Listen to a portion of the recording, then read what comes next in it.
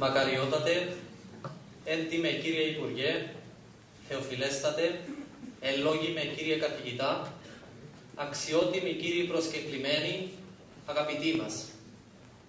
Με αισθήματα χαράς σας καλωσορίζουμε στην απόψινή εκδήλωση που διοργανώνει η Ιεράρχη Επισκοπή με την ευκαιρία της εορτής των τριών ιεραρχών και της ημέρας των ελληνικών γραμμάτων και σας ευχαριστούμε θερμός για την εδώ παρουσία σας. Με τη σεμνή αυτή τελετή επιθυμούμε να προβάλλουμε το έργο, τη διδασκαλία και την αγιότητα των τριών ιεραρχών, των τριών μεγάλων και οικουμενικών διδασκάλων, οι οποίοι θεωρούνται προστάτες όχι τόσο της θύραθεν, αλλά κυρίως της εκκλησιαστικής παιδείας. Μιας παιδείας που μορφώνει μέσα μας τον Χριστό και μας οδηγεί στην πνευματική τελείωση και στην καταχάριν θέωση. Η εκδήλωσή μας θα αρχίσει με εκκλησιαστικούς ύμνους, τους οποίους ερμηνεύει η Βυζαντινή Χοροδία της Ιεράς Αρχιεπισκοπής Κύπρου, Άγιος Ιωάννης ο Δαμασκηνός, υπό την διεύθυνση του εδεσιμολογιωτάτου πρωτοπρεσβυτέρου πατρός Δημητρίου Δημοσθένους. Θα ψαλούν κατά σειρά το απολυτίκιο των τριών ιεραρχών ησύχων πρώτο, το προσώμιο του εσπερινού των τριών ιεραρχών τα του πνεύματος όργανα ησύχων τέταρτον, το δοξαστικό της λυτής των τριών ιεραρχών τους Ιεράρχας του Χριστού ησύχων πλάγιων δεύτερον και το μεγαλινάριον των τριών ιεραρχών ρήτορες Σοφίας Θεοειδής ησύχων δεύτερον. Παρακαλώ να σταθούμε όρθιοι για να ψαλεί το απολυτίκιο των τριών ιεραρχών.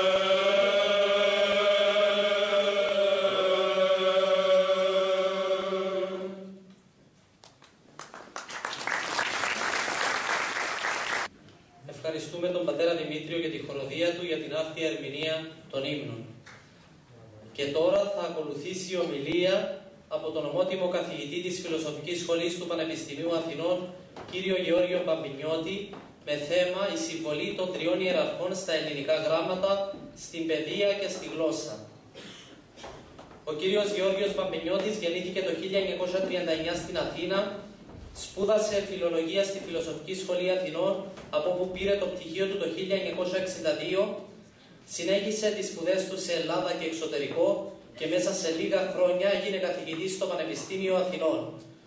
Υπηρέτησε σε διάφορες θέσεις του Τμήματος Φιλολογίας και διετέλεσε πρίτανης του Πανεπιστημίου Αθηνών από το 2000 μέχρι το 2006.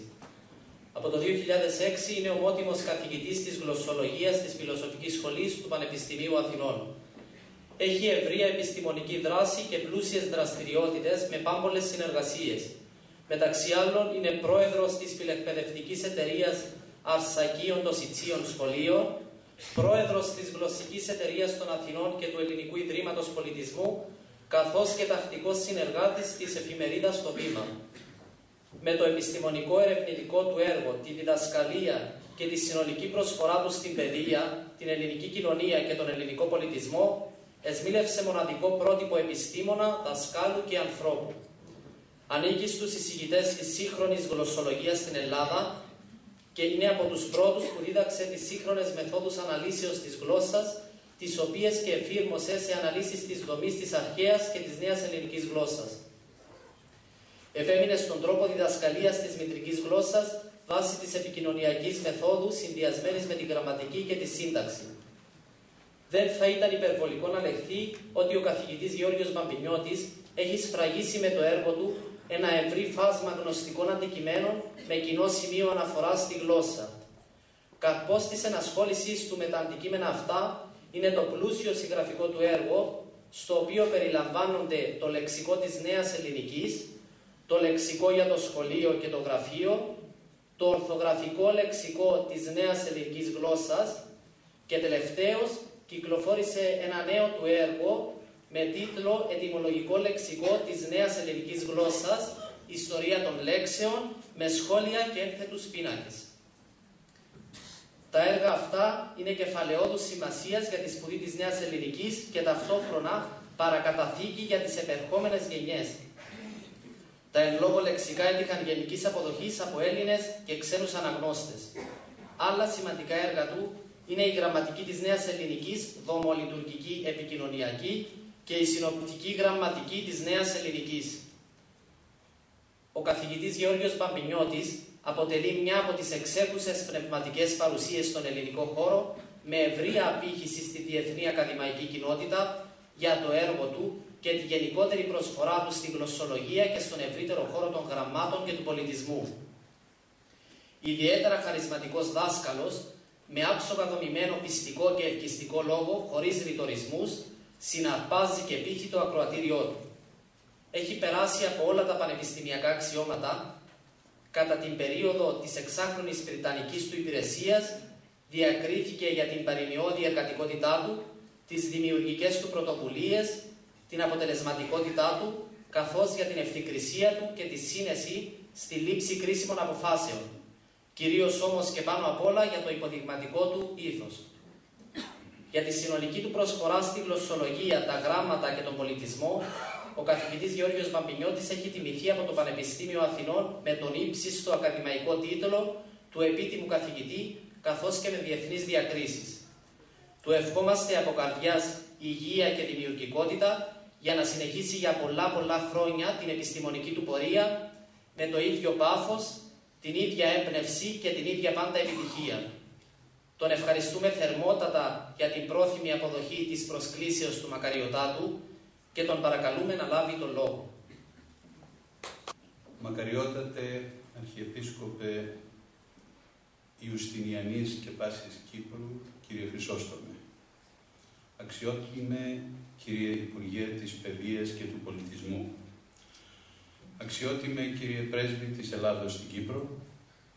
Θεοφιλέστατε, Άγιοι Πατέρες, αξιότιμοι εκπρόσωποι των στρατιωτικών και πολιτικών αρχών, κυρίες και κύριοι, Στην Ελλάδα, από τα πρώτα κιόλας χρόνια που αποκτήσαμε την ελευθερία μας από τους Τούρκους και άρχισε να συγκροτείται οργανωμένη κρατική παιδεία, καθιερώθηκε αρχικά στο Πανεπιστήμιο Αθηνών το 1841 για να περάσει μετά και στην σχολική εκπαίδευση μια ειδική πανηγυρική εορτή για την παιδεία η οποία συνδυάστηκε εξ αρχής με την εορτή των τριών ιεραρχών. Σας καλώ να σκεφτούμε λοιπόν γιατί μια γιορτή παιδείας, ένας κατεξοχήν εορτασμός του πνεύματος, της γνώσης και των γραμμάτων ταυτίστηκε στην Ελλάδα με μια γιορτή θρησκευτική, μια γιορτή τιμής προς τους θεμελιωτές της Ορθόδοξης Χριστιανικής πίστης. Είναι σύμπτωση, είναι συμβολισμός, είναι ιδεολόγημα. Η δική μου εκτίμηση είναι ότι ο συνεορτασμός αυτός όχι μόνο δεν είναι συμπτωματικός ή προϊόν ιδεολογήματος, αλλά είναι συσχετισμός ουσίας, απόρρια βαθύτερης πνευματικής και πολιτισμικής σχέσης, σχέσης ταυτότητας και ιστορικής συνείδησης της Ελλάδος και της Κύπρου. Θεωρώ δηλαδή ότι ο συνεορτασμός πηγάζει από μια σαφή πολιτισμική παραδοχή και εκδοχή της παιδείας μας. Από την παραδοχή ότι η ελληνική παιδεία στηρίχθηκε σε δύο παιδευτικούς άξονες, στον ορθολογισμό και στην ορθοδοξία. Με άλλους όρους, στηρίχθηκε στη σπουδή της ελληνικής ορθολογικής σκέψης, όπως θεμελιώθηκε στα μεγάλα κείμενα της αρχαίας ελληνικής διανόησης και στη σπουδή της χριστιανικής ορθόδοξης πίστης, όπως θεμελιώνεται στη διδασκαλία της Καινής Διαθήκης και ερμηνεύεται στα μεγάλα κείμενα της Ορθόδοξης Θεολογίας, κατεξοχήν στα κείμενα του Μεγάλου Βασιλείου, του Γρηγορίου του Θεολόγου και του Ιωάννου του Χρυσοστόμου. Έτσι, η ελληνική σύλληψη της σχολικής εκπαίδευσης συνδυάζει από παλιά δύο παιδευτικές αρχές. Την ελληνικότητα και τη χριστιανική πίστη. Ό,τι παραδοσιακά ονομάστηκε ελληνοχριστιανικό παιδευτικό ιδεώδες. Πρόκειται για ένα ιδεώδες που δεν αμφισβητήθηκε βεβαίως όταν το υποστήριζε ο νεοελληνικός διαφωτισμός με επικεφαλή στον εμπνευστή του φωτισμού του γένους τον Αδαμάντιο Κοραή και τους διδασκάλους του γένους, ιερωμένους τους περισσότερους, ούτε όταν το υποστήριξαν ο Μακρυγιάννης, ο Κολοκοντρώνης και άλλοι αγωνιστές. Αμφισβητήθηκε πολύ αργότερα όταν παρασυνδέθηκε με έναν έντονο συντηρητισμό στην εκπαιδευτική πράξη, ενώ ο όρος ελληνοχριστιανικός απαξιώθηκε συγκυριακά όταν χρησιμοποιήθηκε προπαγανδιστικά ως εθνικιστικό σύνθημα κατά τη δικτατορία των συνταγματαρχών στην Ελλάδα.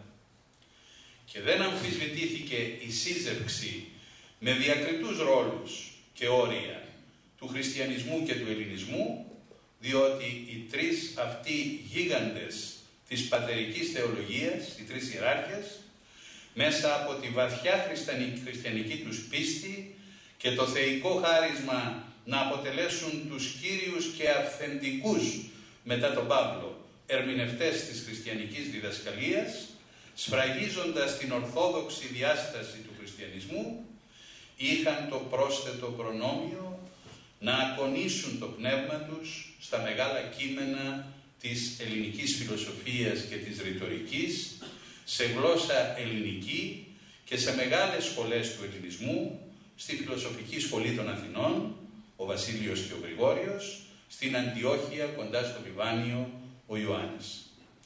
Έτσι ήταν λογικό να γίνουν και οι φυσικοί υποστηρικτές της παιδευτικής σύζευξης των ελληνικών γραμμάτων με τα χριστιανικά διδάγματα της Ορθόδοξης πίστης. Για να εκτιμηθεί γεγονός αυτό σωστά, θα πρέπει να γνωρίζουμε ότι μέχρι και τον τρίτο μετά Χριστό αιώνα, χριστιανισμός και ελληνισμός ήταν έννοιες αντιφατικές και ασυμβίβαστες. Άλλωστε εκείνη την εποχή, μην το ξεχνάμε, Έλληνας για τους χριστιανούς σήμαινε ακόμη ειδωλολάτρης. Το ίδιο όπως και η λέξη εθνικός. Οι διαφορές αντιλήψεως που τους χώριζαν εκείνη την εποχή φαίνονταν αγεφύρωτες. Η απόλαυση της επίγειας ζωής που επιζητούσε ο Έλληνας της κλασικής, της μετακλασικής, της αλεξανδρινής και της ελληνορωμαϊκής περίοδου δεν συμβιβαζόταν με την υπέργεια, υπερκόσμια και πουράνια ζωή που κύρισε ο χριστιανισμός. Ο πολυθεϊσμός των Ελλήνων, παρά τις μονοθεϊστικές συλλήψεις ορισμένων φιλοσόφων, δεν συμβιβαζόταν με την πίστη στον έναν και μοναδικό Θεό της χριστιανικής πίστεως. Ο ορθός λόγος, κατάκτηση του Έλληνα μέσα από την επιστήμη και τον φιλοσοφικό διάλογο, δεν συμβιβαζόταν με τον Θείο Λόγο και τη χάρη τη Θεού αποκάλυψη της μόνης χρήσιμης γνώσης για τον χριστιανό της επίγνωσης του Θεού. Η ελληνική πρακτική την, της, ε, κατα, του κατακόσμων ζήν συγκρόταν ολοσχερός με το κατά Θεόν ζήν του χριστιανισμού. Όπως και μια σειρά αντιλήψεων του Έλληνα για τη ζωή, η αγάπη προς την ομορφιά, η καλλιέργεια των τεχνών, η ενεργός ενασχόληση με τα κοινά, η αγάπη στη φύση κλπ. δεν είχαν σχέση προς την αγωνία του χριστιανού να πορευθεί κατά τα διδάγματα του Ευαγγελίου και να έχει ως μοναδικό μέλημα τη σωτηρία της ψυχής του και την κατά το δυνατόν ομοίωσή του προς τον Δημιουργό και Πατέρα Θεό. Δύο διαφορετικοί κόσμοι ορθώνονταν και συγκρούονταν μεταξύ τους με αποτέλεσμα οι έννοιες Έλληνας και Χριστιανός να θεωρούνται αντιφατικές.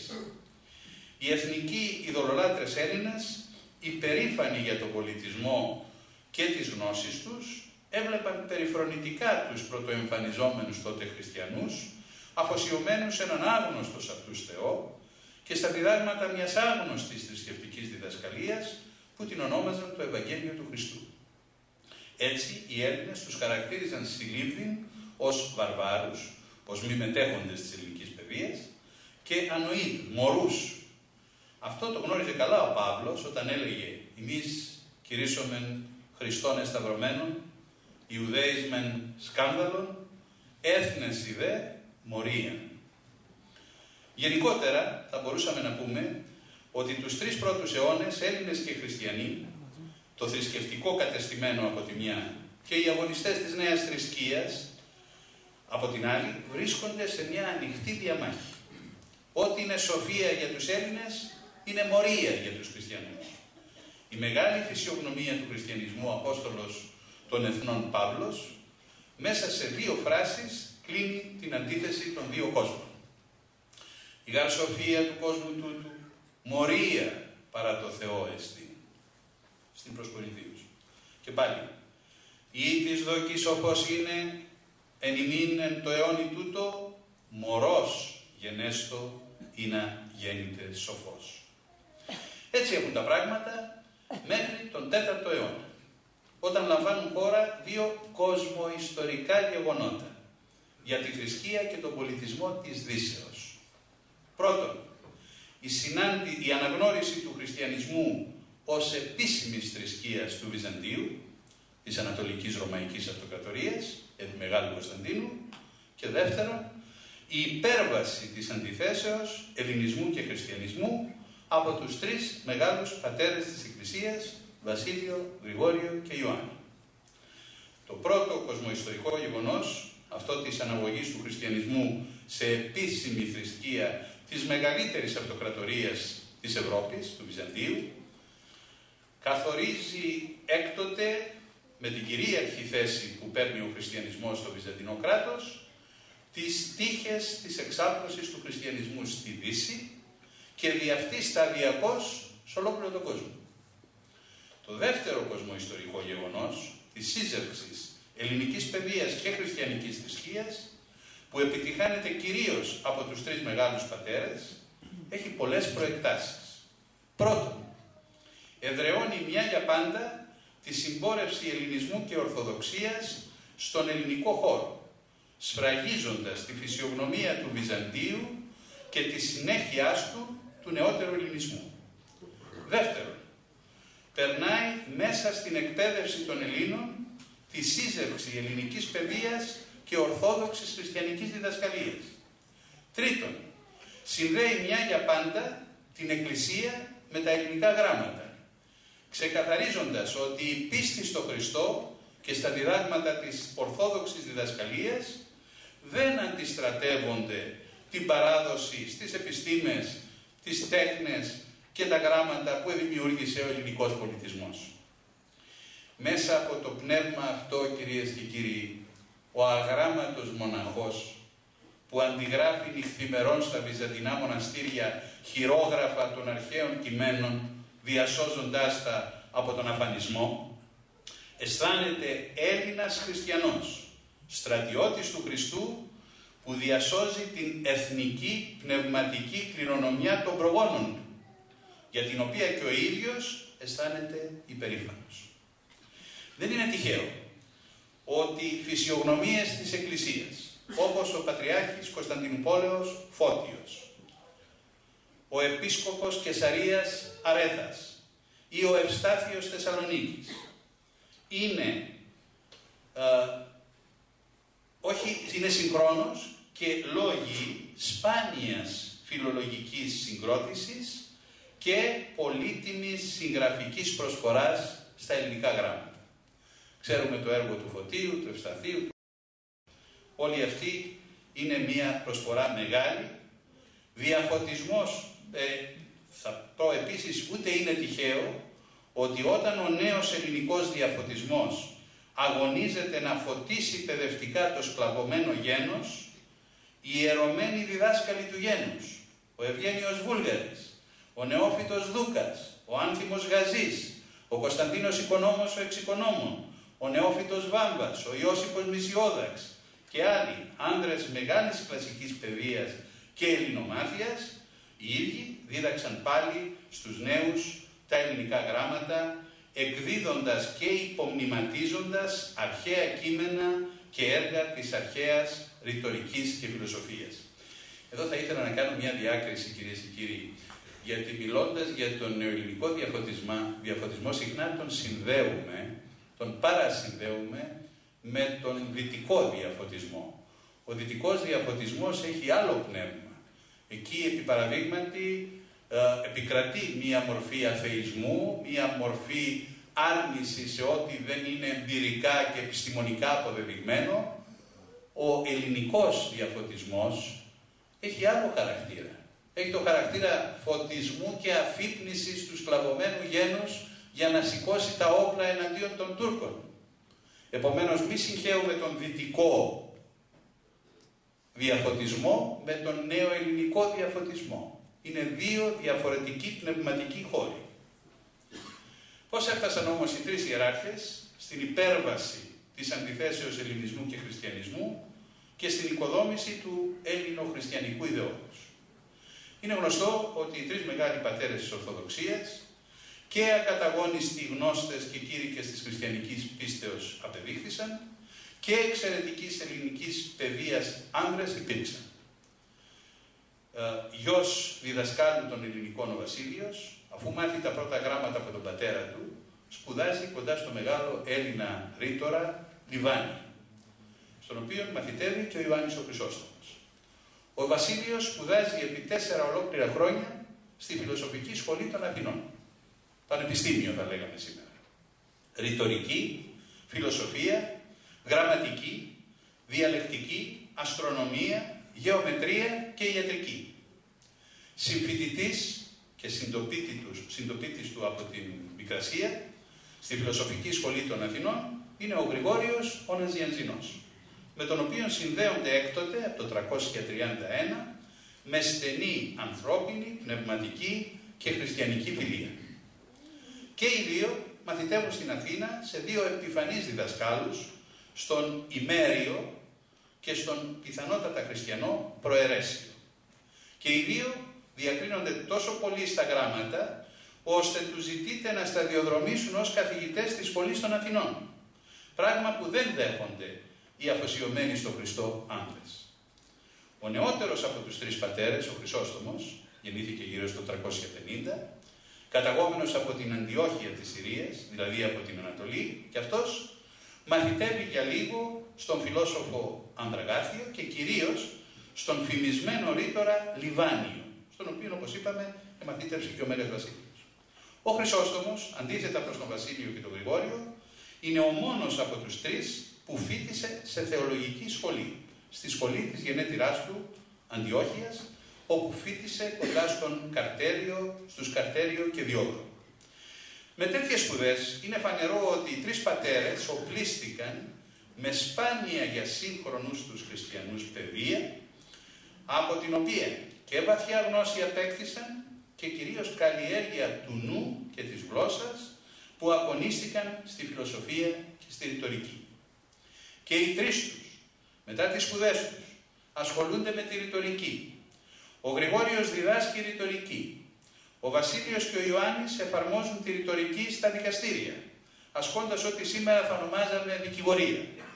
Και οι τρεις τους σύντομα εγκαταλείπουν το επάγγελμα που άρχισαν να ασκούν για να αφοσιωθούν ολοκληρωτικά στο Λόγο του Θεού, στην Ορθόδοξη πίστη και διδασκαλία. Μέσα τους είναι ανθρώπινο και αναμενόμενο.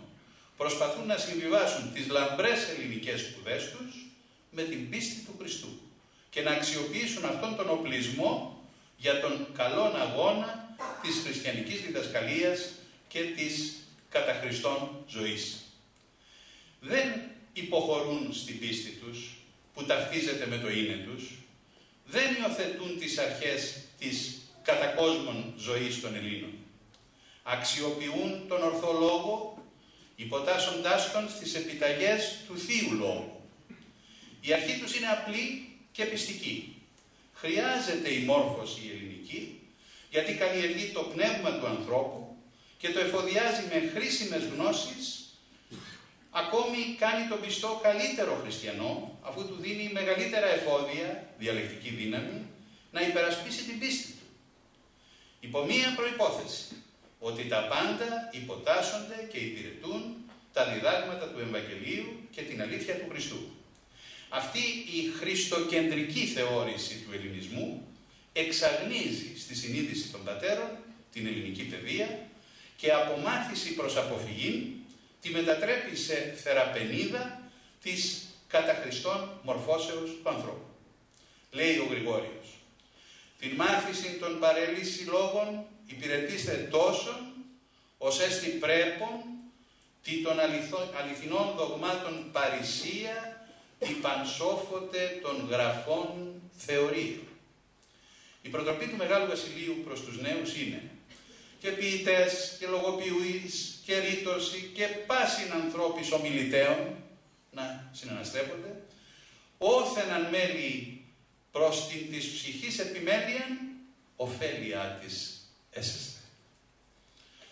Αντίθετα προς τους δύο καπαδόκες ιεράρχες, τον Βασίλειο και τον Γρηγόριο, ο Ιωάννης ο Χρυσόστομος είναι επιφυλακτικός ως προς τις έξωθεν μαθήσεις. Φοβάται τις παρεξηγήσεις που μπορεί να γεννήσει η πρώιμη διδασκαλία στα παιδιά σε σχέση με τα διδάγματα της Εκκλησίας. Ας μην ξεχνάμε ότι η κύρια σπουδή του Χρυσοστόμου υπήρξε θεολογική και λιγότερο σε σχέση με τους δύο άλλους ελληνική. Αξιοσημείωτο εν τούτης είναι ότι αν ένας από τους τρεις υπήρξε πιο κοντά στον ελληνικό λόγο και επηρεάστηκε περισσότερο από αυτόν, ήταν ακριβώς ο Χρυσόστομος, για τον οποίο ο μεγαλύτερος κλασικός φιλόλογος των εποχών, ο Γερμανός Ούλριχ von Βιλαμόβιτς, γνωστός έτσι σε μεγάλη έκταση, έχει πει για τον Χρυσόστομο. Είναι ένας γνήσιος ατικιστής.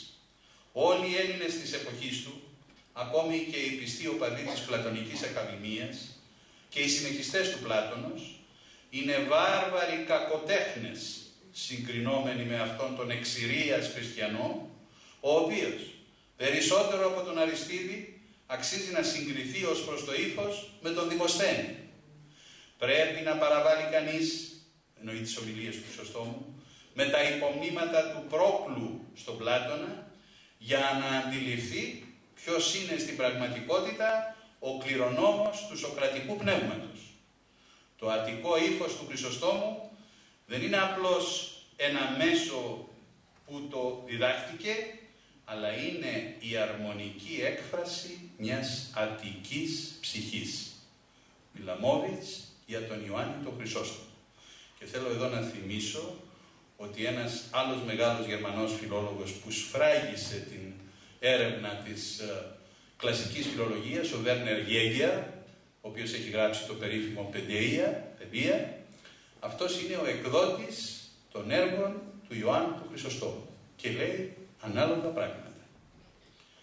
Ο Ιερός Χρυσόστομος λοιπόν, περισσότερο με το προσωπικό του παράδειγμα και την απαστράπτουσα στον λόγο του ελληνική παιδεία, δίδαξε στην πράξη την αξία των ελληνικών γραμμάτων.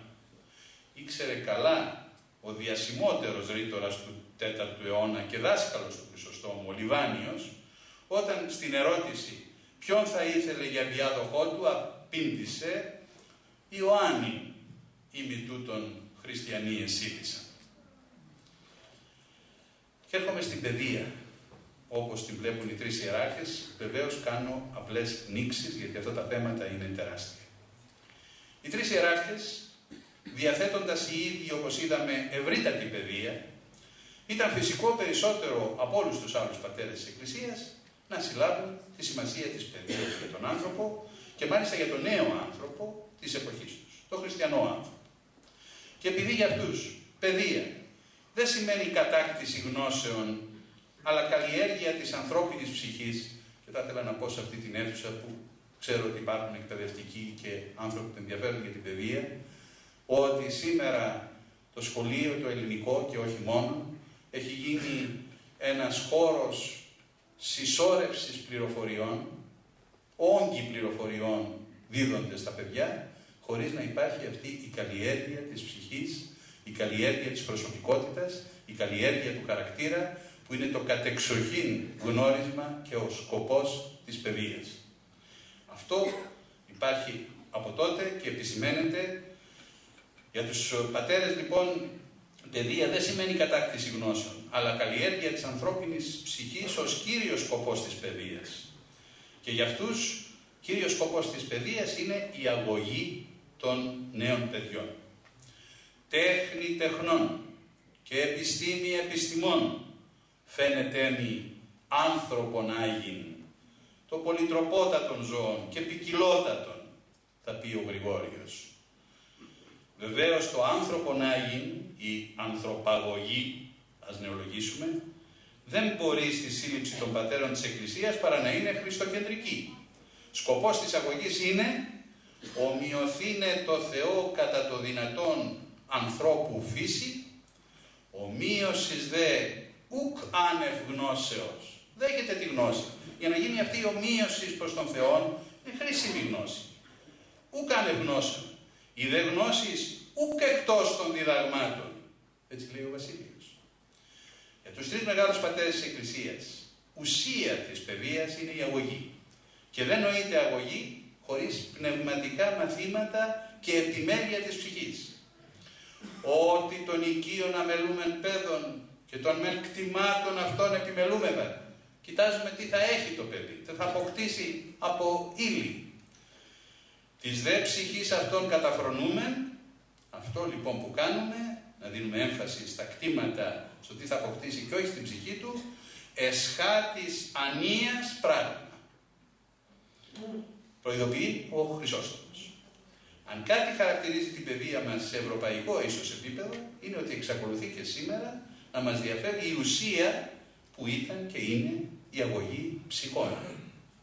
Με άλλα λόγια, περί άλλων τυρβαζόμεθα, ενώ χρία εστί ενός.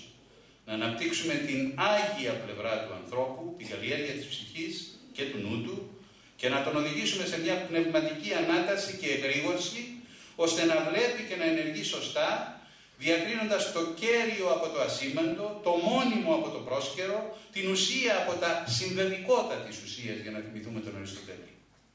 Η επιμονή των Ιερών Πατέρων στην αγωγή της ψυχής δεν σημαίνει ότι υποτιμούν τη σημασία των γνώσεων ή τη σπουδαιότητα των γραμμάτων, σημαίνει διαφορετική ιεράρχηση των αναγκών του ανθρώπου. Πρώτα το πνεύμα και μετά το σώμα. Πρώτα η αγωγή και μετά η γνώση. Ο Ιερός Χρυσόστομος προλαμβάνει ενδεχόμενες παρεξηγήσεις. Και μη με τις ε, νομιζέτο νομοθετήν αμαθείς τους πέδας γίγνεστε. Ου κολλίον παιδεύειν ταύτα λέγω, αλλά κολλίον δεν ε, ε, αμφισβητώ και δεν γίνομαι εμπόδιο για να εκπαιδεύσουμε τα παιδιά. Τι εμποδίζω, κολλίον εκείνης μόνης προσέχει. Ε, στεκόμαστε στη γνώση και όχι και στην ψυχή του παιδιού. Η παιδεία για τους επτούς ιεράρχες είναι πολύ μεγάλη υπόθεση. Σε μια στιγμή εξάρσεως, ο Χρυσόστομος φτάνει να πει τη γνωστή ρίση και θα ήθελα έτσι εκπαιδευτική να τη θυμόμαστε και να τη χρησιμοποιούμε. Η παιδεία μετάληψης αγιότητος εστί. Κοιτάξτε έναν ορισμό της παιδείας. Η παιδεία μετάληψης αγιότητος εστί. Να τι ύψος και τι νόημα δίνουν στην παιδεία, η μυσταγωγή της παιδείας, μεγάλη ιεράρχες. Επειδή όπως είναι φυσικό τα περί παιδείας διδάγματα των τριών πατέρων της Εκκλησίας θα μπορούσαν να αποτελέσουν αντικείμενο διδασκαλίας ετών, θα δείξω δύο μόνο ακόμη διδάγματα των πατέρων, την έμφαση που δίνουν στο δάσκαλο και στους γονείς. Παράγοντες οι οποίοι όλο και περισσότερο στις μέρες μας συνυπολογίζονται στους βασικούς πόλους της παιδείας. Η βασική αρχή για το δάσκαλο είναι κατά τους μεγάλους ιεράρχες το παράδειγμα. Τον δε παιδεύοντα, ου διαρρημάτων μόνο, όχι με λόγια, αλλά και διαπραγμάτων παιδεύειν χρή, λέει ο Ιερός Χρυσόστομος. Η πολιτεία του δασκάλου, η ζωή και οι πράξεις του, το παράδειγμά του, όχι η απλή διδασκαλία του, είναι αυτή που οδηγεί στην παιδεία. Γιατί φαίνεται ότι τα λόγια περίσσευαν από τότε πολύ. Ο θεολόγος και ποιητής Γρηγόριος θα πει τη μνημειώδη επιγραμματική φράση. Μισό διδάγματα εις εναντίος βίος. Μισό λοιπόν τις διδασκαλίες που ο βίος είναι αντίθετος προς τα διδάγματα. Που η πράξη, η ζωή, το παράδειγμά τους είναι αντίθετος προς τα διδάγματα. Σε αυτό που ιδιαίτερα επιμένουν οι τρεις μεγάλοι πατέρες στις κατευθύνσεις που δίνουν προς τους γονείς είναι η ευθύνη των γονέων να αναθρέψουν τα παιδιά τους με χριστιανικές αρχές και αξίες, με φόβον Θεού, με καλλιέργεια των αρετών της ψυχής και του πνεύματος και με παιδεία τέτοια που ο νέος να αντιληφθεί ότι σκοπός της ζωής δεν είναι να πασχίζει για την απόκτηση χρημάτων ή διαφόρων καταναλωτικών αγαθών και μάταιης εξουσίας, αλλά για ό,τι συνιστά την ουσία της ζωής και για τις αξίες που πρέπει να εμπνέουν τη ζωή του ανθρώπου σύνεση, ταπεινοφροσύνη, εγκράτεια, δικαιοσύνη, αυτογνωσία. Πόσο επίκαιρος, κυρίες και κύριοι, θα ήθελα να το προσέξουμε αυτό, είναι σήμερα ο Ιωάννης ο Χρυσόστομος, όταν σχολιάζει ποια πρότυπα προβάλλουν συνήθως οι γονείς στα παιδιά τους προς μίμηση και πόσο έξω από τη χριστιανική πραγματικότητα βρίσκονταν και βρίσκονται και σήμερα οι περισσότεροι δυστυχώς γονείς και το ζούμε αυτό. Λέει λοιπόν ο Χρυσόστομος, ουδέ γαράλο ότι τον πατέρων έστι ακούσε διαλεγωμένος προς τους πέδας, όταν αυτούς παρακαλώσει υπέρ της των λόγων σπουδής, όταν τους λένε να μάθουν γράμματα, οι γονείς δεν λένε τίποτα άλλο στα παιδιά, αλλή ταυτή τα ρήματα, τα εξής λόγια. Οδύνα, λένε στα παιδιά τους, ταπεινός και εκταπεινών, την από τον λόγων κτισάμενος δύναμη, αφού απέκτησε παιδεία, γράμματα έμαθε, Ήρξε μεγίστας αρχάς, μεγάλη εξουσία απέκτησε, πλούτον εκτίσατο πολλήν, έτσι έλεγαν οι γονείς και λένε, γυναίκα έλαβε εύπορο, πήρε πλούσια γυναίκα, οικίαν οκοδόμησε λαμπράν, φοβερός έστιν άπαση και επίδοξος. Παλινέτερος, λέει ο Χρυσόστομος, ο Δίνα Φυσί, τον Ιταλών γλώσσαν εκπαιδευτής, αφού έμαθε την ε, λατινική που ήταν η γλώσσα της εποχής, μέχρι τον Ιουστινιανό που κάνει επίσημη γλώσσα την ελληνική, εν της βασιλείας εστί λαμπρός, στα άκτορα, ε, και πάντα άγι και φέρει ένδον. Και έτερος, έτερον, δείκνηση πάλι, λέει ο Χρυσόστομος, πάντες δε τους επί της γης ευδοκίμους. Μιλάει κανένας για τίποτα άλλο. Για αυτούς που είναι στη γη και πάνε καλά, διότι έμαθαν γράμματα και πήραν εξουσία και γυναίκα πλούσια και καλό σπίτι κλπ. τον δέν της ουρανής ουδεάπαξ της μέμνητε. Αν συγκρίνει κανείς την παιδεία που προτείνουν οι σοφοί ιεράρχες με τη σημερινή εκπαιδευτική πραγματικότητα, τουλάχιστον στην Ελλάδα, όπου η διδασκαλία των χριστιανικών αξιών και των αρχών του Ευαγγελίου από τη μια μεριά έχουν συμπιεστεί σε ένα συχνά αποστεωμένο και σχολαστικό πληροφοριακό μάθημα θρησκευτικών, στριμωγμένο κάπου στο σχολικό πρόγραμμα και υπό συνεχή συρρήκνωση, μάλιστα πάει να γίνει και κατ' επιλογή, και από την άλλη μεριά αν ληφθεί υπόψη ότι οριάζει σε όλα τα τηλεοπτικά προγράμματα, ότι άμεσα και δραστικότητα καταργεί μέσα σε λίγα λεπτά αυτά που ο δάσκαλος στο σχολείο και ο παπάς στην εκκλησία αγωνίζονται να χτίσουν στην ψυχή των παιδιών, αν συνειδητοποιήσει κανείς τη λειτουργία και τις επιπτώσεις αυτής της αποδομητικής και σχιζοφρενικής για την ψυχή και την προσωπικότητα των νέων παιδιών διαδικασίας, τότε θα καταλάβει αν η παιδεία στις μέρες μας μπορεί να επιτελέσει τον ανθρωποπλαστικό και δημιουργικό ρόλο που οραματίστηκαν οι φωτισμένοι ιεράρχες. Στην ερώτηση πώς θεραπεύεται αυτή η κατάσταση, η απάντηση είναι νομίζω μία. Ο τρόσας και η άσετε. Αυτός που τα δημιούργησε πρέπει να τα διορθώσει. Και θα ήθελα να δώσω και ένα μήνυμα αισιοδοξίας ότι τόσο στην Ελλάδα όσο και στην Κύπρο υπάρχει μια προσπάθεια για μια ριζοσπαστική αλλαγή στον χώρο της παιδείας και χαίρομαι που είναι εδώ παρόν ο Υπουργός της Παιδείας. Γίνεται μια πολύ σημαντική προσπάθεια και στην Κύπρο και στην Ελλάδα να αλλάξει το πνεύμα του σχολείου, δηλαδή να αλλάξει ο τρόπος διδασκαλίας, τα βιβλία, η μάθηση μέσα σε μια ενοποιημένη μορφή, να περάσουν αξίες, να δημιουργήσουμε πολίτες υπεύθυνους, δημοκρατικούς, ευαίσθητους, πράγματα δηλαδή τα οποία χρειαζόμαστε και το χαιρετίζω αυτό. Και στην Κύπρο και είχα την ευθύνη για τον εθνικό διάλογο στην Ελλάδα και πιστεύω ότι και στην Ελλάδα ε, επειδή δεν μπορεί να κρατήσει άλλο αυτή η κατάσταση θα ληφθούν μέτρα για να αλλάξει η κατάσταση που επικρατεί στην παιδεία. Θα ήθελα πολύ σύντομα να αναφερθώ στη γλώσσα σε σχέση με τους τρεις ιεράρχες. Στο θέμα αυτό, ως ειδικός, ως γλωσσολόγος που είμαι, σπέβδω από την αρχή να πω ότι οι τρεις μεγάλοι πατέρες, μάστορες οι ίδιοι της γλώσσας, όχι μόνο έδωσαν κείμενα που αποτελούν πρότυπα ελληνικής γλώσσας και θεολογικής σοφίας, αλλά μπόρεσαν και είδαν πτυχές και λειτουργίες της γλώσσας άγνωστες και στους ειδικούς. Θα περιορίσω εδώ το λόγο εξ ανάγκης σε μόνες τις απόψεις για τη γλώσσα του Ιωάννου του Χρυσοστόμου, που αντιπροσωπεύουν και τη γενικότερη θέση των τριών ιεραρχών. Το νέο που φέρνουν οι τρεις ιεράρχες, και ειδικότερα ο Χρυσόστομος, είναι θα έλεγα μια ηθική της γλώσσας. Η χρήση της γλώσσας όπως ταιριάζει στο ήθος ενός ανθρώπου, ενός χριστιανού.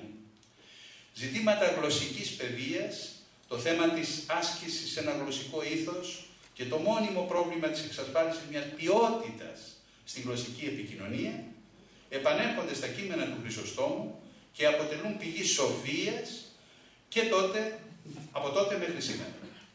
Θα σταθώ ενδεικτικός σε μερικά από τα γλωσσικά αυτά διδάγματα. Ο Χρυσόστομος, πιστεύοντας στην αγιότητα της γλωσσικής επικοινωνίας του ανθρώπου, αφού η γλωσσική επικοινωνία ως προσευχή είναι συγχρόνως και επικοινωνία του ανθρώπου με το Θεό, προτρέπει να μην μολύνουμε τη γλώσσα και να την διατηρούμε αντάξια του Θεού στον οποίο απευθυνόμαστε με αυτή. Γιατί, λέει ο Χρυσόστομος, κοιτάξτε μια ωραία εικόνα, η γλώσσα ως προσευχή γίνεται το χέρι που αγκαλιάζει τα γόνατα του Θεού. Μη δει κατεσχήνει στην γλώτα, πίσον αξίαν του παρακολουμένου Θεού. Χείρ έστειν η γλώτα των ευχομένων και δι' αυτής τα γόνατα του Θεού. Βαθύς γνώστης της κοινωνικής πραγματικότητας ο Χρυσόστομος ξέρει καλά τι σημαίνει για τις ανθρώπινες σχέσεις ο τρόπος που μιλάμε ο ένας τον άλλο, η καλή ή η κακή γλωσσική συμπεριφορά προς τους άλλους. Όλες οι ανθρώπινες σχέσεις περνάνε μέσα από τη γλώσσα και τον τρόπο που εκφραζόμαστε. Έτσι η γλώσσα κατά τη ρίση του Χρυσοστόμου γίνεται βασιλικό άτι να πετάς ή και διαβολικό όχημα που σε οδηγεί στην καταστροφή. Κύρια ευθύνη του καθενός μας λοιπόν είναι να χαλιναγωγήσουμε τη γλώσσα μας. να μετράμε και να ελέγχουμε καλά τα λόγια μας. Τη γλώσσα και τα μάτια σου, μας λέει ο Χρυσόστομος. Εν χειρή γλώσσης, ζωή και θάνατος. Από τον λόγο σου δικαιωθήσει και από τον λόγο σου κατακριθήσει. Και αυτό που λέμε τη γλώσσα και τα μάτια σου. Μάλλον τίνην της κόρης του θερμού φύλατε την γλώτα. Ήποσε στη βασιλικός η γλώσσα. Αν μένουν επιθείς αυτοί χαλινών και διδάξεις βαδίζει εύρυθμα, επαναπαύσετε αυτή και επικαθιείται ο βασιλεύς. Αν δε αχαλίνο τον αφής, φέρεστε και σκυρτάν, του διαβόλου και των δαιμόνων όχημα γίνεται. Δεν χρειάζεται βέβαια μετάφραση, ε. Αυτά όλα τα καταλαβαίνουμε. Ελληνικά σύγχρονα είναι. Από τον Όμηρο θυμόμαστε τη συχνή, συχνά επαναλαμβανόμενη φράση, τη θυμόμαστε από το σχολείο, ποιον σε έπος φύγεν έπος οδόντων. Ποια λέξη, ποια λόγια άφησες να βγουν από το στόμα σου. Ο Χρυσόστομος παίρνει τη φράση αυτή, τη συμπληρώνει με το δικό του τρόπο και δημιουργεί μια πολύ παραστατική εικόνα για το πώς ο Θεός έδωσε στον άνθρωπο δύο στάδια ελέγχου των λόγων που βγαίνουν από το στόμα του. Τα δόντια και τα χείλη. Με αυτούς τους δύο φραγμούς κατά τον Χρυσόστομο μπορεί κανείς να χαλιναγωγήσει τα λόγια του. Διπλό τυχείο περιέβαλε την γλώσσα ο Θεός. Το των, το των οδόντων διαφράγματι και τη των χιλέων περιβολή. Η να μη ραδίος και απερισκέπτος εκφέρει τα ρήματα τα μη προσήκοντα. Χαλίνωσον αυτήν ένδον. Ο Χρυσόστομος επιμένει πολύ στο κακό που μπορούν να κάνουν τα άκρητα λόγια. Οι λεκτικές απρέπειες και επιθέσεις, οι κακολογίες, οι δυσφημίσεις, τα γλωσσικά τοπήματα ενός απίλωτου στόματος, που λέει από παλιά και μέχρι σήμερα ο λαός μας. Απόλοντο μη φυλάξαντες τα εαυτόν στόματα. Χάθηκαν αυτοί που δεν προφύλαξαν το στόμα τους, τα λόγια τους. Και της απολίας της ψυχής, έστειν αρχή το αφύλακτον έχει το στόμα. Από εκεί ξεκινάει η απώλεια της ψυχής. Το να έχεις το στόμα αφύλακτον. Οι φράσεις του Χρυσοστόμου με την απαράμιλη τέχνη του λόγου του ακούγονται άλλοτε σαν αρχαία επιγράμματα και άλλοτε σαν λαϊκά ρητά ή παροιμίες. Τα σχόλια του Χρυσοστόμου. Ουδέν γαρούτος επιτίδιον όργανων προς απάτην και απώλειαν η μετέραν. Δεν υπάρχει άλλο που μπορεί να χαθείς και να περάσεις σε απάτη ως γλώτα ακόλαστος και στόμα αθύρωτον, το απίλωτο στόμα, το στόμα που δεν έχει πραγμό. Για να προσθέσει στοχαστικά ο σοφός πατέρας της Εκκλησίας, ως και η σιωπή έχει τη θέση της στον άνθρωπο. Είναι και αυτή τρόπος επικοινωνίας και μάλιστα ιδιαίτερα δηλωτικός και έντονος. Έστι γαρότε η σιγή μάλλον ωφέλησε λαλιάς. Ως περ και λαλιά μάλλον σιγής. Τότε γαρδί φθέγγεστε μόνον, τότε να μιλάς, όταν της υγιής, τα λεγόμενα, χρησιμότερα είναι. Να η ηθική της γλώσσας και συγχρόνως μια υγιής στρατηγική επικοινωνίας. Πόσο κοντά βρίσκεται στην πατερική σκέψη ο φιλόσοφος της γλώσσας και βαθύτατα θρησκεύων, Ludwig Wittgenstein, αυτός είναι που στην ίδια κατεύθυνση μιας ηθικής της γλωσσικής επικοινωνίας, θα πει πολλούς αιώνες αργότερα, αυτά που μπορούμε να συλλάβουμε καθαρά με το νου μας, μπορούμε να τα εκφράσουμε καθαρά με τη γλώσσα μας. Για ό,τι δεν μπορούμε να συλλάβουμε με τη σκέψη μας, λέει ο Βιτκενστάιν στο τρακτάτος λογικο-φιλοσόφικος, για ό,τι δεν μπορούμε να συλλάβουμε καθαρά με τη σκέψη μας, είναι καλύτερα να σιωπούμε αυτή την έννοια της σιωπής και της σιγής τη βλέπετε στον Χρυσόστομο και τη βλέπετε στον Βίτκενστάιν. Ο Βίτκενστάιν, πρέπει να πω, το ξέρουμε από τη βιογραφία του, ήταν ένας θρησκεύων τολμηρός φιλόσοφος, τον οποίον αποκήρυξε ο άλλος μεγάλος ο, φιλόσοφος της γλώσσας και των μαθηματικών, της αναλυτικής φιλοσοφίας δηλαδή, ο Ράσελ τον αποκήρυξε γιατί ακριβώς είχε αυτή την πίστη που δεν δεχόταν οράση. Τελειώνω με τα εξής. Στο Βυζάντιο και στην εκκλησιαστική εν γέννη παράδοση που ακολούθησε μετά τον 4ο αιώνα, Ήταν τόσος ο θαυμασμός και η εκτίμηση που έτρεφαν για τη διδασκαλία των τριών μεγάλων πατέρων, ώστε έφτασε να αναφιούν και φιλολογικο-θεολογικές έρηδες για το ποιος από τους τρεις πατέρας υπερήχε τον άλλον. Γι' αυτό όπως να λέει ο Κρουμπάχερ, τον 11ο αιώνα, ο Ιωάννης ο Μαυρόκους, επίσκοπος Ευχαΐτων, προέτεινε και καθιερώθηκε έκτοτε κοινή εορτή των τριών ιεραρχών, 11ος αιώνας, βασισμένη στην ιδιότητα που ένωνε και τους τρεις πατέρες, στο ότι υπήρξαν από κοινού προστάτες των γραμμάτων και της ελληνικής παιδείας. Ο Παναγιώτης Κανελόπουλος, στο πολύτιμο έργο του «Ιστορία του Ευρωπαϊκού Πνεύματος», ως βάση για αυτό που λέμε ευρωπαϊκό πνεύμα, θεωρεί τέσσερα συστατικά. Το αρχαίο ελληνικό πνεύμα, τη ρωμαϊκή πολιτιακή παράδοση και νομοθεσία, το χριστιανισμό και το βάρβαρο και ακμαίο αίμα χωρίων λαών. Στην Ενωμένη Ευρώπη που σήμερα αποτελεί μια πραγματικότητα, τα δύο από τα τέσσερα συστατικά που αποτελούν κατά τον Κανελόπουλο τον πολιτισμό που ονομάζουμε ευρωπαϊκό ή δυτικό, είναι ο ελληνισμός και ο χριστιανισμός. Και μιλώντας για ελληνισμό, μιλάμε φυσικά για ελληνική παιδεία. Αν λοιπόν η ελληνική παιδεία επιβίωσε, διατηρήθηκε και συντηρήθηκε για να γίνει μέσα από τους λογίους του Βυζαντίου που ξενιτεύτηκαν στη Δύση, η μαγιά της δυτικής αναγέννησης, αυτό οφείλεται, μην το ξεχνάμε, στο ότι οι τρεις φωτισμένοι πατέρες άνοιξαν τη χριστιανική αγκαλιά τους εγκαίρως και διορατικά για να κλείσουν μέσα τον ελληνισμό και να τον συμφιλιώσουν με τη διδασκαλία της Ορθόδοξης Χριστιανικής Πίστεως. Αυτό σημαίνει ότι η προσφορά των σεπτών ιεραρχών στην Ευρώπη και στον κόσμο ευρύτερα δεν υπήρξε μόνο η στήριξη και συστηματοποίηση της Ορθόδοξης πίστης μέσα από τα ανεπανάληπτα πατερικά κείμενα και την πατερική θεολογία, αλλά και η διάσωση του ελληνισμού και της ελληνικής παιδείας που άδειλη θα ήταν διαφορετικά η τύχη τους και κατ' επέκταση διαφορετική πιθανότατα θα ήταν η εικόνα που εμφανίζει σήμερα η Ευρώπη και ο πολιτισμός μας. Στη διδασκαλία των μεγάλων μορφών της Ορθόδοξης Θεολογίας, η ορθολογική σκέψη της δύσης συνδυάστηκε και συμφιλιώθηκε με την Ορθοδοξία της Ανατολής, με την αποκάλυψη της χριστιανικής αλήθειας στον Ανατολικό χώρο, ενώ ο οικουμενικός χαρακτήρας της χριστιανικής πίστης κάλυψε και καλύπτει Ανατολή και Δύση. Κρίνω σκόπιμο να αναφέρω εδώ μια βαρύνουσα ομολογία για την Ευρώπη και τον χριστιανισμό, προερχόμενη από έναν από τους μεγαλύτερους στοχαστές του αγγλικού πνεύματος, τον T.S. Eliot, το μεγάλο αυτό. Στο βιβλίο του λοιπόν «Σημειώσεις για τον ορισμό της κουλτούρας», λέει ο Eliot, αν ο χριστιανισμός καταστραφεί, το σύνολο της κουλτούρας μας θα καταστραφεί. Χρωστάμε πολύ περισσότερα στη χριστιανική μας κληρονομιά από μια θρησκευτική πίστη.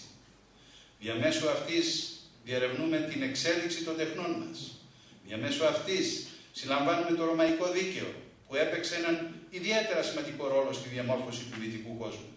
Διαμέσου αυτής σχηματίζουμε τις αντιλήψεις μας μιας ιδιωτικής και δημόσιας ηθικής και διαμέσου αυτής αποκτήσαμε τα κοινά μας κριτήρια της λογοτεχνίας, μελετώντας τις λογοτεχνίες της Ελλάδας και της Ρώμης. Η ενότητα του δυτικού κόσμου βρίσκεται σε αυτή την κληρονομιά, στο χριστιανισμό και στους αρχαίους πολιτισμούς της Ελλάδας, της Ρώμης και του Ισραήλ, στους οποίους χάρη σε 2.000 χρόνια χριστιανισμού βρίσκουμε τα ίχνη της καταγωγής μας. T.S. Eliot. Προσωπικά, κυρίες και κύριοι, αισθάνομαι ότι η Ορθοδοξία είναι ένα στοιχείο αχώριστα συνεφασμένο με τη συνείδησή μου ως Έλληνα. Ένα σημαντικό κείμενο της αρχαίας ή της νεότερης λογοτεχνίας μας με συγκινεί το ίδιο βαθιά με ένα τρομά, τροπάριο της Μεγάλης Εβδομάδα ή ένα χωρίο του Ευαγγελιστή Ιωάννη ή μια επιστολή του Παύλου. Αναλογίζομαι ότι μια σειρά από υπαρξιακές και ιστορικά θεμελιωμένες έννοιες του ελληνισμού συνδέονται άρρηκτα με την Ορθοδοξία. Η έννοια του γένους, λόγου χάρη, που σφράγισε τον ελληνισμό στην τουρκοκρατία, αναδύθηκε μέσα από την υπόδουλη πατρίδα και σήμανε αυτούς που έχουν κοινή την Ορθόδοξη πίστη και κοινή την ελληνική γλώσσα. Και σήμερα ακόμη έννοιες όπως ομογενής και ομογένεια δεν νοούνται έξω από την Ορθόδοξη Εκκλησία. Η μια μεριά της ψυχής μας, αυτή του Ρωμιού, βλέπει προς την Ανατολή, την Ορθόδοξη πίστη και τη λαϊκή παράδοση. Η άλλη μας μεριά του Έλληνα κοιτάζει προς τη Δύση, την κλασική παιδεία, την ορθολογική και νεωτερική σκέψη. Και τα δύο μαζί συνθέτουν τον Έλληνα. Έτσι, νομίζω ότι όποιος μιλάει για Ορθοδοξία, ερήμην του ελληνισμού, αγνοεί μια κατάκτηση της Ορθόδοξης χριστιανικής σκέψης. Και πάλι, όποιος μιλάει για ελληνισμό, ερήμην της Ορθοδοξίας, παραποιεί την ιστορία και στρεβλώνει την εικόνα ενός ολόκληρου λαού. Στην ιστορική διάσταση του θέματος, πάνω από 1200 χρόνια ζωής των Ελλήνων, δηλαδή το Βυζάντιο, μην το ξεχνάμε, είναι ελληνισμός και Ορθοδοξία. Για πολλούς περισσότερο Ορθοδοξία και λιγότερο ελληνισμός. Αφού Έλλην για αρκετούς αιώνες σήμαινε τον εθνικό, τον ιδρολάτη. Αυτή η ιστορική συμπόρευση, αυτή η ιστορική πραγματικότητα είναι που επιβάλλει και μια αδύρυτη υποχρέωση στην παιδεία μας. Να μην λείπει το μάθημα των θρησκευτικών από τα σχολεία μας. Όποιο όνομα και αν του δώσουμε και αφού φυσικά μελετήσουμε πιο προσεκτικά και κυρίως ουσιαστικά το περιεχόμενο και τη μέθοδο διδασκαλίας του.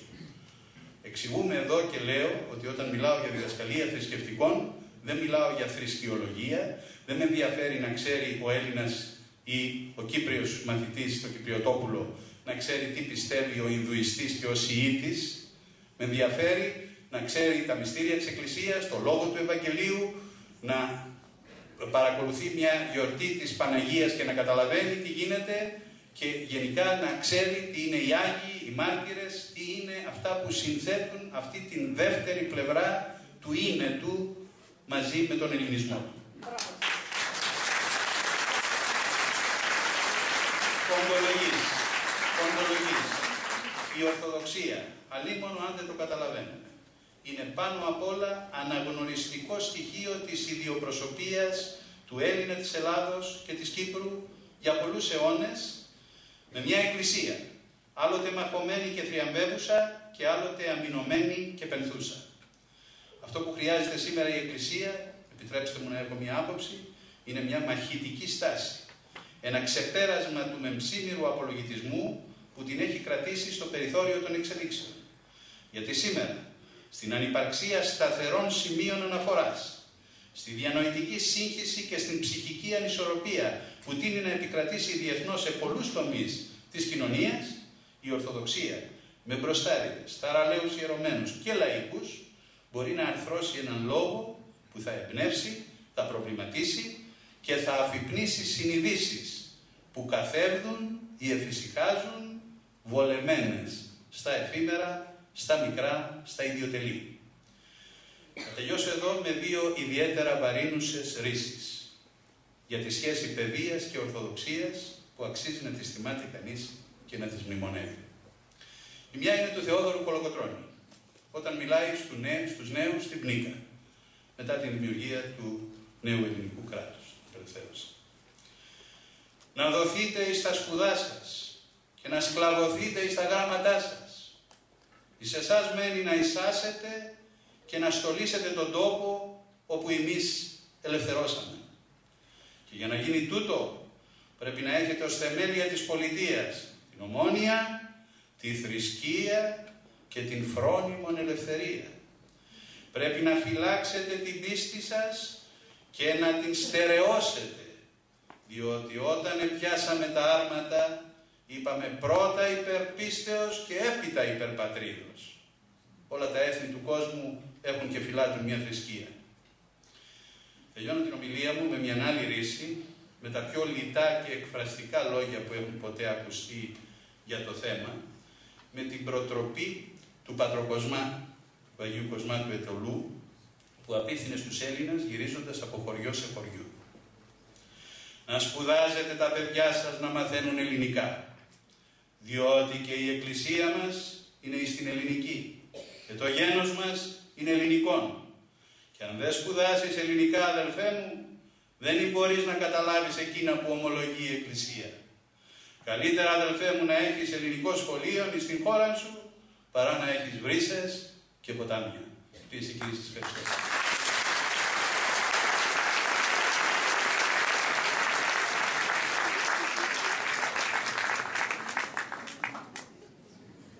ευχαριστούμε και πάλι τον κύριο καθηγητή για την εμπεριστατωμένη και επικοδομητική εισήγησή του. Επίσης, ότι θα έχουμε την ευκαιρία να ακούσουμε τον κύριο καθηγητή σε μια πάρα πολύ σημαντική συνομιλία του με τον Θεοφιλέστατο Επίσκοπο Καρπασίας κύριο Χριστοφόρο με θέμα παιδεία και εκπαίδευση στα πλαίσια της εκπομπής Εκκλησιαστική Παρέμβαση η οποία θα μεταδοθεί από το ραδιόφωνο της Εκκλησίας μας ο Λόγος το ερχόμενο Σάββατο 30 Ιανουαρίου μετά την απευθείας μετάδοση της Θείας Λειτουργίας. Συνεχής μέρημνα των τριών ιεραρχών και της Εκκλησίας είναι η αγωγή των νέων που επιτυχάνεται με τον Λόγο του Θεού και κάθε άλλο μέσο που τους οδηγεί στη χριστιανική ζωή. Τέτοια μηνύματα εκφράζουν οι ύμνοι της Εκκλησίας μας καθώς και τα τραγούδια που το περιεχόμενό τους καλεί στη ζωή της αρετής και της αγιότητας. Τρία τέτοια τραγούδια, Θεοφόροι Άγιοι, Ειρήνη του Θεού και Ζει Κύριος, θα τα ακούσουμε από ομάδα μελών της κατηχητικής κινήσεως Παναγίας Φανερωμένης.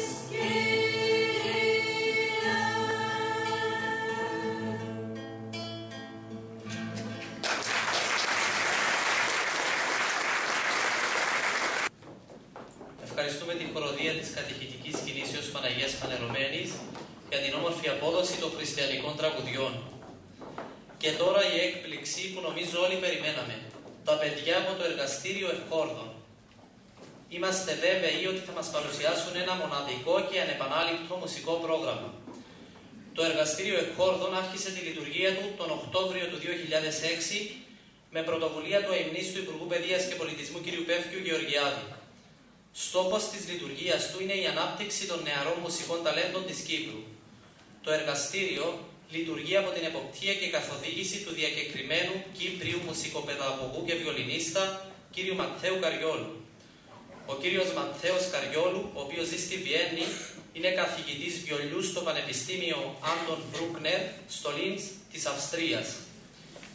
Έχει δε πολύ μεγάλη εμπειρία στη διδασκαλία βιολιού σε παιδιά πολύ μικρής ηλικίας και χρησιμοποιεί τη δική του προσωπική μέθοδο διδασκαλίας με θεαματικά αποτελέσματα. Οι βοηθοί του κυρίου Καριόλου, οι οποίοι διδάσκουν τα παιδιά σε συστηματική βάση, είναι η Κώστας Δερμιτζόγλου, Σορίν Χόρλεα, Ρόμπερτ Χοβανεσιάν, Μενέλαος Μενελάου και Βαρβάρα Πένεβα. Πρέπει δε να αναφερθεί ότι οι εμφανίσεις του εργαστηρίου έχουν καταπλήξει το κοινό με την ψηλού επίπεδου ποιότητά τους. Θα ακουστούν κατά σειρά τα πιο κάτω έργα. Χοροδιακό των κυνηγών από την όπερα Ελεύθερος Σκοπευτής του Καρλ Μαρία Φον Βέμπερ, Πρελούτ του Δημήτρη Σωστακόβιτς, Γκαβότ του Δημήτρη Σωστακόβιτς, Neapolitan Dance του Πιότ Ήλιτς Τσαϊκόφσκι, Λατέρνα του Ρόμπερτ Χοβανεσιάν, Νταβάι Τσιγκάνικη Μελωδία, διασκευή του Λάιονελ Σμιτ, Όλκα Τσιγκάνικη Μελωδία, διασκευή του Λάιονελ Σμιτ. Συμμετέχουν οι μικροί και ταλαντούχοι φίλοι μας από το εργαστήριο Εκχόρδο και συνοδεύει στο πιάνο η Καταλίνα Τεϊκάν.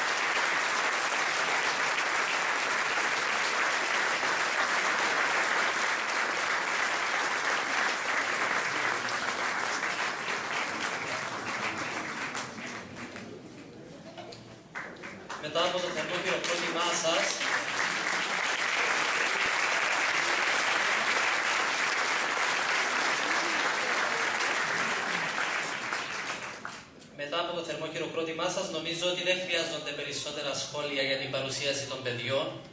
Απλώς ευχαριστούμε θερμά τόσο τα παιδιά όσο και τους συντελεστές αυτής της όμορφης προσπάθειας.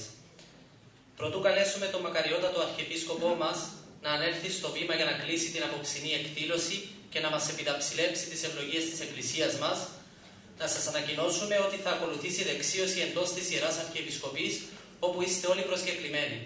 Μακαριότατε, έχετε τον λόγο. Η ησυχία που επικρατεί μου δίδει το δικαίωμα, ε, το δικαίωμα να μείνω εδώ και να μην ανέβω στο μικρόφωνο.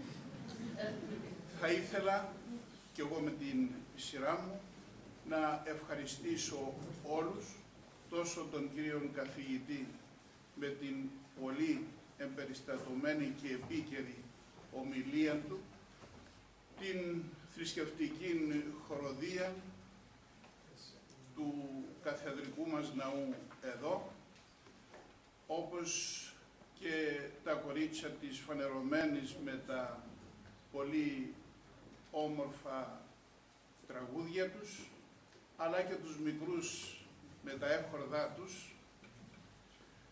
Και να πω ότι η, ελλη- η ελληνοχριστιανική μας παιδεία έχει δώσει πολλά μέσα στους αιώνες και δεν χρειάζεται να αναζητούμε άλλου είδους παιδεία γιατί είναι επιτυχημένη. Δίδει στον άνθρωπο και τις γνώσεις και το ήθος. Συμφωνούμε με τον κύριο καθηγητή ότι σήμερα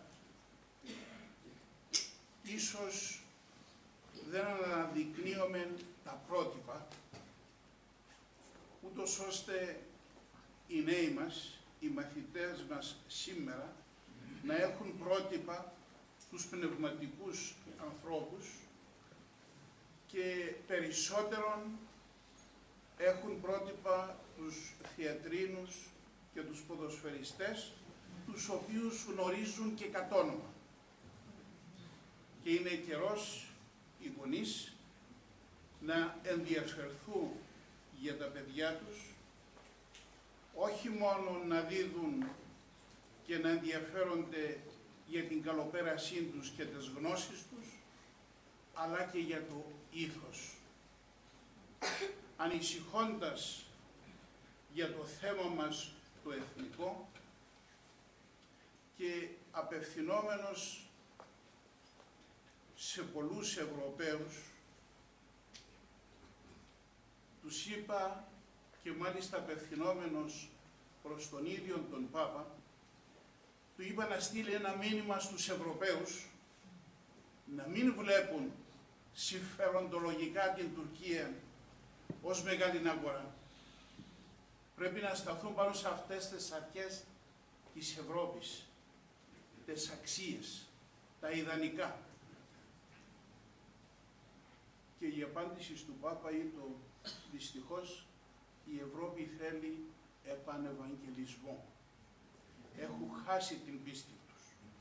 Ενδιαφέρονται μόνον για τα συμφέροντά τους. Και όποιος Ευρωπαίος περάσει από το γραφείο μου, του τονίζω ιδιαίτερα ότι αν η Ευρώπη δεν σταθεί πάνω σε αρχές και αξίες, δεν θα μπορέσει να επιβιώσει, θα διελυθεί. Και όσα έθνη δεν εστηρίζονται πάνω σε αρχές και αξίες, έχασαν την εθνικότητά τους. Και εμείς ακριβώς πρέπει να την φυλάξουμε ως κόρηνο φθαρμού, πρέπει το Ευαγγέλιο του Χριστού να βρίσκεται συνεχώς ενώπιόν μας, μπροστά μας, να σταθούμε πάνω σε αυτές τις αξίες και να μην ανησυχούμε ότι η λύση του προβλήματός μας δεν θα είναι σωστή. Από μας εξαρτάται. Αν κρατηθούμε σε αυτές τις αρχές που υπηρέτησαν οι τρεις ιεράρχες, αλλά και οι πατέρες και διδάσκαλοι του γένους μας, να είμαστε σίγουροι ότι θα πετύχουμε εκείνον που ποθούμε και θα ανατείλει η ημέρα της δικαίωσής μας, της δικαίωσης του λαού μας. Και πάλι ευχαριστώ όλους που συνετέλεσαν απόψε για να μας δώσουν ο, αυτήν την ευχαρίστηση με την γιορτή των τριών μας ιεραρχών. Ευχαριστώ πολύ και εύχομαι